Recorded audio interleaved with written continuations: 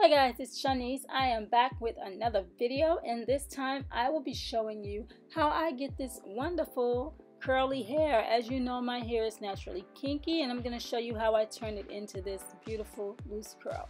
So I start out with a leave-in conditioner and I also have some hair clips to section off my hair, about three or four of them. And then I use a wide tooth comb and with that wide tooth comb I also have some rollers. We'll use about 25 of them in this video.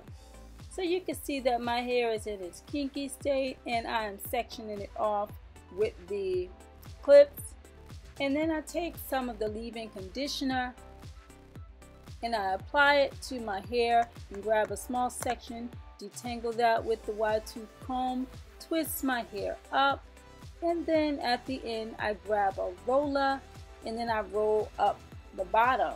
So it's that simple. So I show it one more time and I grab a section, detangle, moisture, twist it up,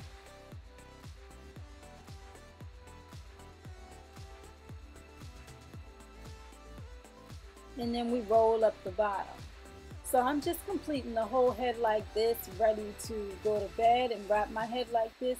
And I detangle this in the morning. Not detangle, but unravel. So I take all the rollers out and all the twists out. And then I play with it until I get the desired look. And my hair is always like this, either with a loose curl or just a big old poofy fro. And I love this so if you guys like this video, just go ahead, click the like button. Don't forget to share, subscribe, comment.